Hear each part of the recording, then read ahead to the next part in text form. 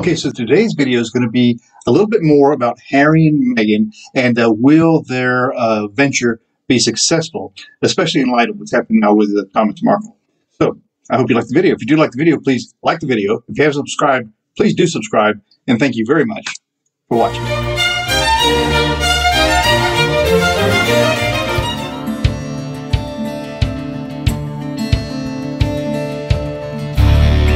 Hi, I'm Mark. This is my journey through tarot. Come on.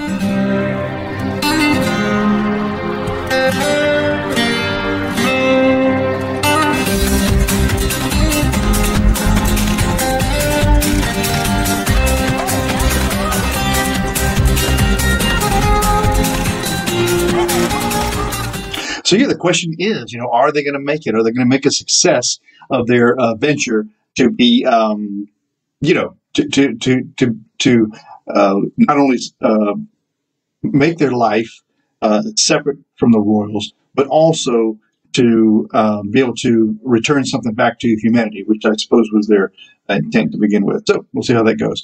I'm filming from uh, my hotel in Bordeaux, where I'll be for about 10 days total before moving back to Paris and then eventually to Brussels and eventually to Frankfurt. So we'll see how that goes. And uh, Harry and Meghan will they be successful in their new life and uh, and be able to contribute back to society in a significant way the way they intend.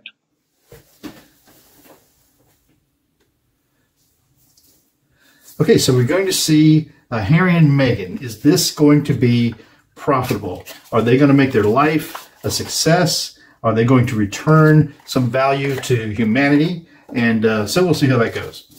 And uh, so what I've got set up here in my hotel room is a map of the area that I'm using to get around. Um, your this camera on my phone is kind of hanging off of a television that's on the wall with an arm that's extending it over. And then you are rested on top of a bunch of dirty clothes to get the camera up to the correct level. So just so you know what the setup is. And I tried lots of different things today. I went uh, downstairs to the lobby, looked in the bar, uh, went outside, uh, and uh, as it turns out, the room is the best place to be. You can control the lighting in the room. I can close the uh, windows over there if I need to, draw the drapes to adjust the lighting. This print that they have on the wall seems to be a little interesting, so we'll see how that goes. But Harry and Meghan, Harry and Meghan is their venture going to be successful. And listen, I'll be posting uh, videos from my uh, trip as soon as I can figure out uh, how to get all that done uh, on the road. Uh, uploading the videos, the last one I uploaded took, um, I think, three hours because of the quality of the internet. So it's never uh, perfectly reliable. And um, so we'll see how that is. But first, before we do anything, let's have a moment of meditation. Now, I don't have my meditation sign, so you have to decide what your mantra would be.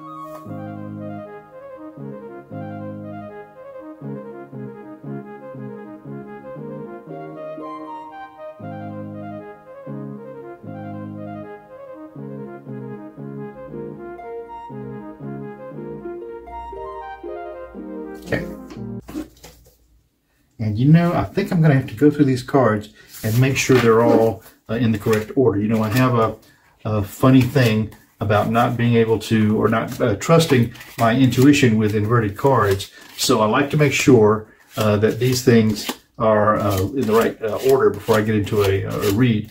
And uh, it's simply nothing else except that I don't uh, completely trust my uh, intuition for the reverse cards or my definitions. But then after all this diligence, if the cards do still present as inverted, then I know that uh, I'm meant to give it my best shot. Anything that happens during the video, I consider it was supposed to happen. So if I drop a card, if I miss cards, if I uh, somehow turn a card upside over that's not supposed to, or you know whatever happens, I just have to trust that that's what's meant to happen. And um, you tell me what you think about it. But uh, we'll go through these, and it's a little funny doing this outside of your comfort zone because um, you know in the comfort of your own home and in my office.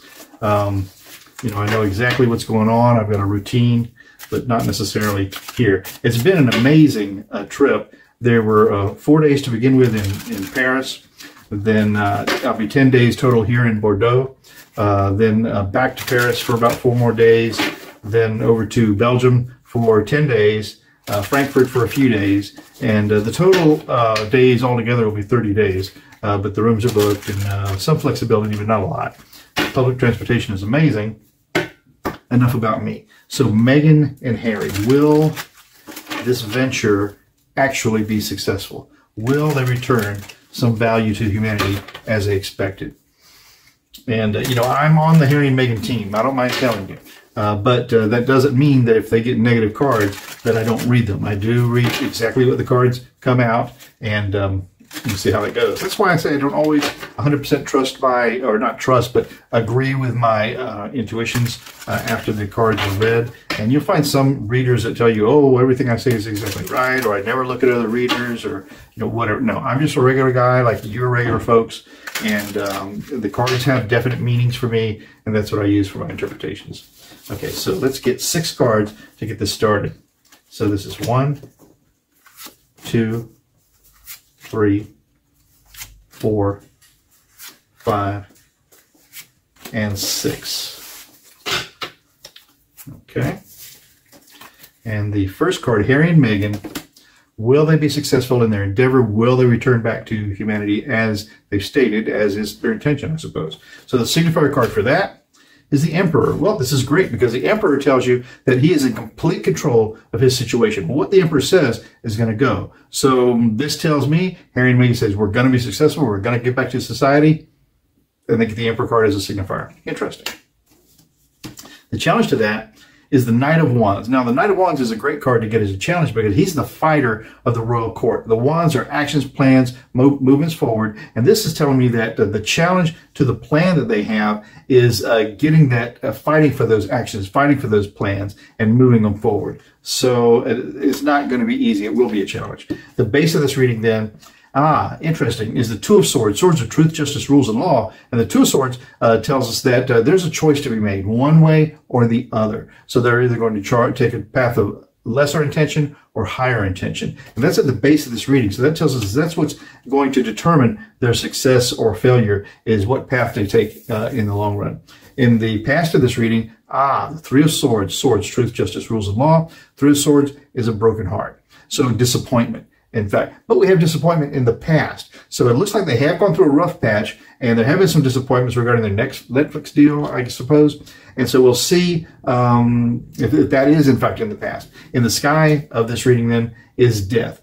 So that's interesting because death is not death, usually. Uh, it can be, but I think death is telling an end of a cycle. So in the sky this reading with death card there, it's telling us their highest intention is to put an end to whatever the life was they had before and to start something new because after death, you have a new start. The um, likely outcome of this, well, we have the Page of Pentacles. You know, Pentacles are value or worth. The Page of Pentacles is the very weakest of the royal cards. And so this tells us there's going to be a message of value or a small amount of value or some offering of value that comes out of this. Not a great deal, but something. Okay, so that's interesting. Now I'll go after this over this at the end and recap the whole thing. So that I want to see what is the very self of that question. Will uh, Meghan and Harry make a success of their life and make a success of uh, giving back to uh, humanity as a um, say they that's what they state they want to do. So the first card for the uh, self of that question is the King of Swords. Like having the King of Swords for them, swords, truth, justice, rules, law. And the King of Swords is telling us, I am in charge of those things. I'm going to make these things happen. King of Swords as a signifier for all of that. I hope this is getting in the camera.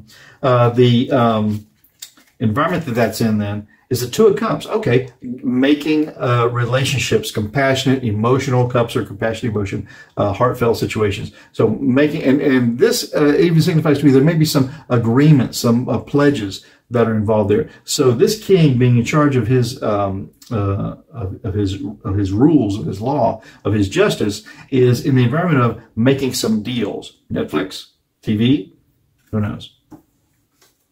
Okay, the hopes and the fears for all of that right here is going to be ah the moon secrets being revealed so the hopes and the fears secrets being revealed how can we take that? Well, we know there's lots of secrets coming out about Meghan's family that are difficult, secrets about Harry, how he feels about his family, and the way that firm is run. And so the hopes and the fears of this are those secrets that are revealed. Interesting. Then the final outcome the whole thing, Meghan and Harry, will they make a success of their life and give back to society? As they've stated they expect to. And the uh, likely outcome of that is the high priestess. Good card to get if that's what uh, good intention. Uh, high priestess has all the knowledge, uh, all the uh, wisdom, and all the uh,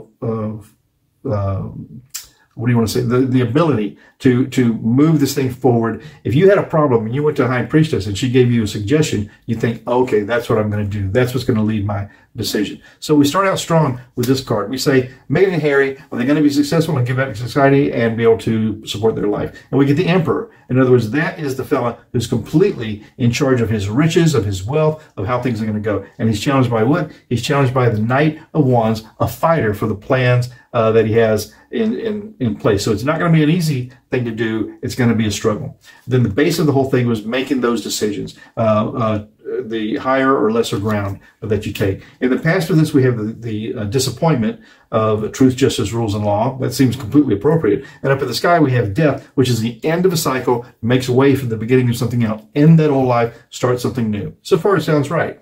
And then the likely outcome in the first part of this, with this page of Pentacles there, there will be a small offer of value. There will be steps in that way. There's a message of, of value that's being offered uh, to the situation. The very self of that question with this King of Swords is telling us that, yeah, in charge of your truth, your value, your rules, and your law, that's where they are. And the challenge of it are the deals, the partnerships that they make uh, along the way. Uh, the hopes and the fears for that are those secrets that are being revealed and they will be revealed and they will be challenges and some of them will be hopes and some of them will be fears obviously. And then the uh, likely outcome of the whole thing with this high priestess is telling us they have the authority behind them the uh, the overall uh, power uh, guiding them to make this thing happen. So this was a very positive reading. I think i'm going to leave it at that and i like the way it came out So you tell me, did that work for you? Do you think those answers were correct? I, like I say many times, after I look at the videos back, I don't always agree with everything that I that I read, but uh, generally yes. So uh, let me know what you think in the comments. I'm Mark. My journey through tarot. Tomorrow's another day. Stop by. We'll do it again. Ciao for now.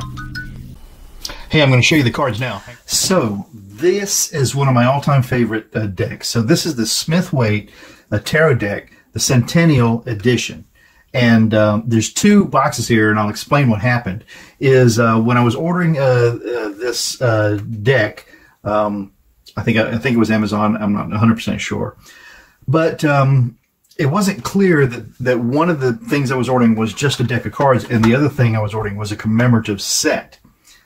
Okay, so uh, we'll talk about them separately. So the cards themselves are terrific. So these are, as you may have heard me say, if you've watched some of my videos and watched me use these cards, uh, these cards are the um, supposed to be the uh, most true to the original artwork of Pamela Colman Smith. This is her initial, Pamela Colman Smith.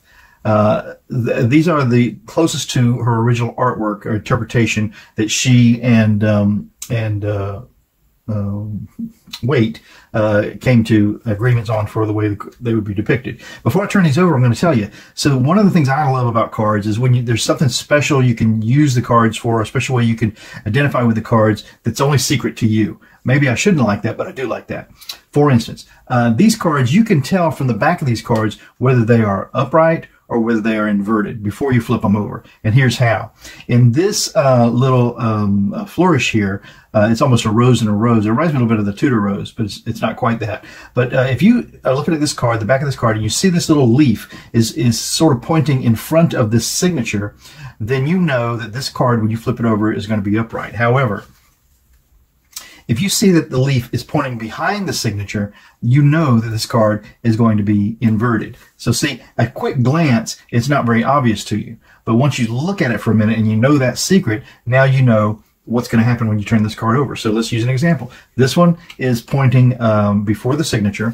So we can see that this card is in the upright position. This one is pointing after the signature, and you can see that it's in the inverted position. So, so there you go.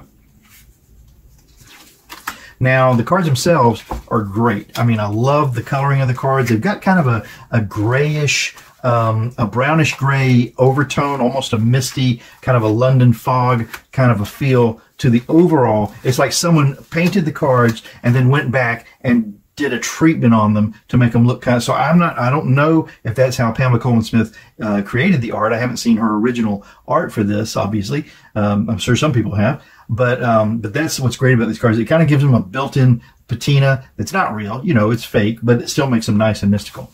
And so uh, that's what's interesting about these cards. Now, the uh, at first I was disappointed that I had ordered two um, sets of the same cards, but then um, I understood that it was a good thing, and I'll show you why that is. Okay, so now this is the commemorative set of the Pamela Colman Smith uh, artist of the Rider Waite Tarot deck, uh, featuring the Smith Waite Tarot Centennial Edition deck, which is this. So uh, it comes in this amazing, amazing container. I mean, I can't even really call it a box. It's, it's like a beautiful showcasing a lifetime of artwork by Cam- Pamela Colman Smith. And um, so it's really cool. And wait till you see how it works. So you open this treasure chest up, and you've got this beautiful uh, finish here, and you got wonderful little tabs where you can pull back the uh, the covers and see what's inside. And what is inside is a, a pack of the cards. Uh, and in truth, what's happened is um, these were the cards that were wrapped up inside this box, and uh, these cards uh, came in that box. But um, I got this first, and so I wanted to use the cards, so I opened it up, and oh, look at that. And I don't like that. This has to be tucked down in there. So there's a couple things that aren't perfect. But uh, so I took the cards out of here, opened it up, started using them. And then the other cards came and I realized, oh, well, I can make this a complete set if I put these in here. What's in here? Of course, you have the cards. And uh, then you have a nice little bag uh, to keep them in if, uh, if that's how you're going to keep your cards. And so many people do. But uh, I've just chosen to try to leave these cards in kind of a pristine condition. And then on this side is where all the treasure happens. The first thing you have is this booklet, The Artwork and Times of Pamela Colman Smith, artist of the tarot, tarot of the Rider Waite Tarot deck by Stuart R. Kaplan and Lynn uh, Arjo, I suppose. So this is who wrote this book. In this book, it tells you all about uh, you know, not all about, but it's, it's, it's, it's, a very good information about Pamela Colman Smith. It's a lot of her art that's not related to tarot and explanations of how that art came to be. I mean, this is just a fascinating book and I love it. I love it a lot. So there's that. The next thing that was in here are these are actually postcards. Okay. So these are postcards and all of these are the art of Pamela Colman Smith. So, uh, and then this book talks about these postcards and why they come to be, and they all have a very interesting uh, story. So, which I won't go into now, but if you think you'd like to know, you should order these cards. So, very interesting uh, stuff here. Love it, love it, love it, love it, love it. Okay, next thing you're going to get is you get some uh, larger pieces that uh, this is Pamela Colman Smith, who I understand like to be called Pixie uh, as a nickname, and she's a lovely person. This um, is uh, someone that she knew, a, a stage uh, actress at the time, and um, and there's even a little uh, message down here. The the name of this person is Mistress Page, and then you are a you are Mary. So am I. Ha ha. Uh, Ellen Terry. So uh, I'm not sure now, but the, the book explains all of this to you. Then you get, uh, this is an example of just some black and white work she done for, for I don't know what, it doesn't tell you on here, but it does tell you in the book. And then this is some more examples of what she might have done for playbills or uh, other ways. You know, artists have to make a living, so they use their talent of making art to uh, sell and, and do other things. So love, love, love everything that came with this. And, um, amazing. Now, the final thing, and I've, I've lost the little uh, ribbon, but also this uh, has a ribbon here that, that, helps you pull everything out, which is so smart and so good. I don't know who thought of it first, but it's a great uh, use of that. And then you have here the actual uh, pictorial key to the tarot. So some of you may have seen me using uh, this book, which is the pictorial key to the tarot by Waite. And uh, so this is just another uh, representation of that, but just in a different book. And it all comes in here. The one thing that you're missing here, I don't think the cards are in this book. No, the pictures of the cards uh, aren't in here, but it's terrific. Everything else is true to that first book. Uh, this one, however, which I bought separate from an uh, online bookstore, uh, does have uh, depictions of the cards in it, as you can see. So that's very useful. I use that all the time. So very handy to have. And then finally, like so many of these uh, decks, this gives you some uh, examples of some spreads you can use and how you might read them And so everything, everything, everything about this um, this package uh, is exactly um, the best that you'd want to get in a in a in a gift. Got, this is the one little misgiving here. Maybe I'll, I'll work on that later. But um, so nice. So that's been the tour of these cards, and I hope you've enjoyed it.